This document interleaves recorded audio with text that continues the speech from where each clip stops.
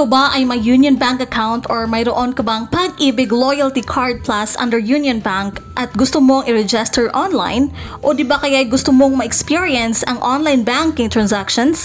Then watch this video dahil tuturuan ko kayo kung paano gawin ito. So let's get started. Gamit ang iyong mobile phone, magpunta lamang sa Google Play. Search Union Bank at i-install ito. Katapos ma-install, basahin ang terms and conditions at i-click ang accept. Pumili lamang alin sa mga options dito. If may ATM card ka, yun ang piliin mo.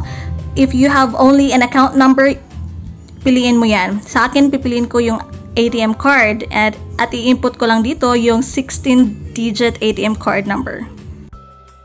That, click next and then one-time password will be sent to your mobile number. If hindi active ang yung mobile number, then you need to send it to your active email address.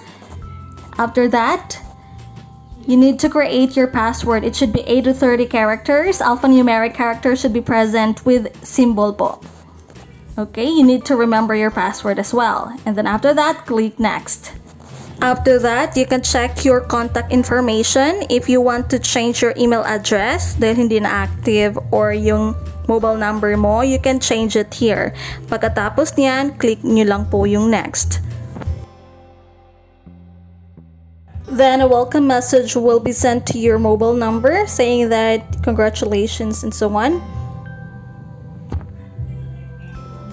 Then you can set your fingerprint if you want to log in easily. Okay, just set it up.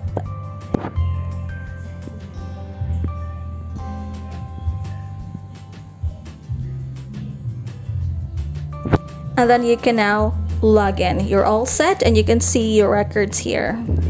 And you can transact online like pay your bills, transfer funds, and of course, yeah, do the thing here on online banking.